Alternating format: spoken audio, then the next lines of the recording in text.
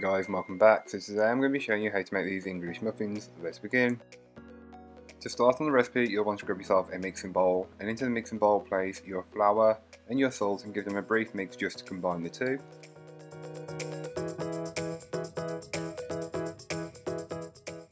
You can then go ahead and add in the remaining ingredients starting with the yeast followed by the sugar, the natural yogurt and the water then mix on a low speed for 2 minutes, followed by a medium high speed for around 4 minutes.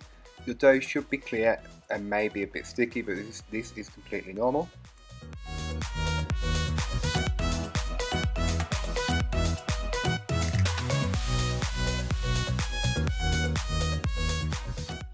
Once your dough has done mixing, you can then flour your work surface with some bread flour, place your dough onto it and give it a brief knead just to incorporate some of the flour so the dough isn't so sticky and it should be smooth and elastic.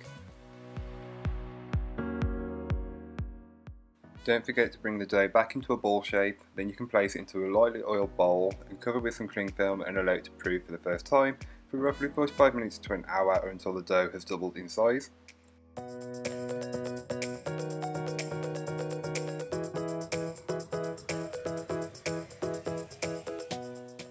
Don't forget to take your baking tray that's been lined with some parchment and just dust over some flour. This is to prove the English muffins on.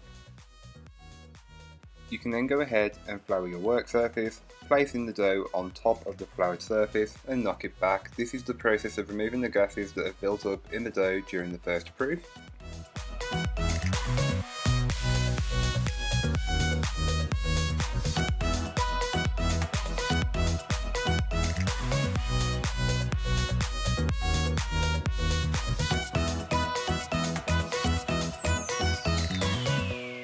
Don't forget to bring your dough back into a ball shape and then place onto a well floured surface.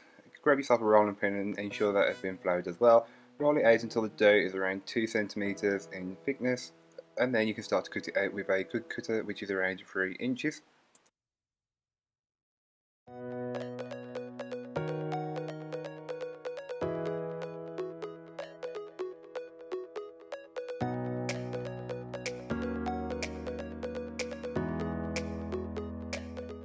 Can then take your cutouts and place them onto the lined and floured tray, then cover with cling film and let proof for around 30 to 40 minutes or until they are well proven.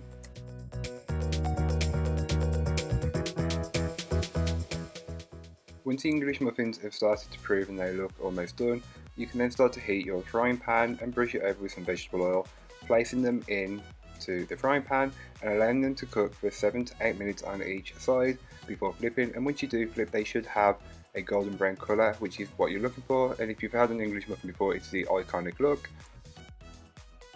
So here are what they look like once they are fully baked, cooled and completely done.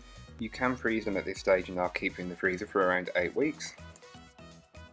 But that's all for today, I hope you enjoyed. If you did, don't forget to like, comment and subscribe for more from me and I'll be back again on Thursday with another video, so join me then. But in the meanwhile, don't forget to check out all my other videos and the links in the description. I'll be a link to my blog, this recipe and all my social media, so don't forget to go and follow me over on there.